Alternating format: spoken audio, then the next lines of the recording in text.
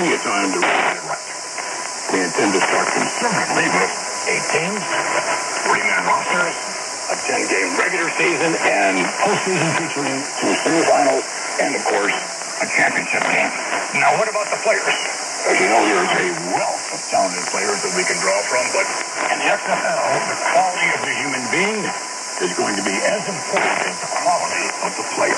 As far as our league is concerned, it'll have nothing to do with politics. Absolutely nothing, and nothing to do with social issues either.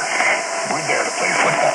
We want really good football, and I think that's what fans want as well. I don't know they want to be dealing with political issues and things of that nature. They want good football. All right, so let's reiterate. They'll launch 18 40-man rosters, 10-week schedule. Players won't be given the forum to take a personal stance on playing the playing field. There also will not have any players with a criminal record allowed to take part in the league. Will it represent any type of threat to the NFL? Here's Will Cain. I think the XFL represents a threat to the NFL, a real threat to the NFL. Here's what I mean. There's been a lot of talk. I've done this conversation on First Take. I've done this here, three, for example.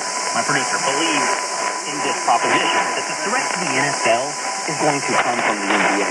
Now, while the NFL is showing ratings vulnerability, conference championship games down 8%, divisional championship, divisional playoff games down, sometimes as low as they've been in 15 years. So the NFL is showing these vulnerabilities. The NBA is increasing. But I don't think the NBA represents a real threat to the NFL. I think that's two different platters at your buffet. I don't think that's a zero-sum game. I don't think one goes from one to the other instead of the other. I think the NFL can be vulnerable to football, more football.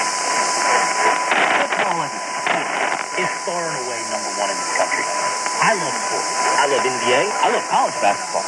And heck, I love soccer. But I'm realistic about what's king in this country, and it's football. And while I know that ratings and popularity of the NFL are down, college football what I think becomes the replacement for football is more football. And if Vince McMahon can provide more football, that's what the NFL should be concerned about.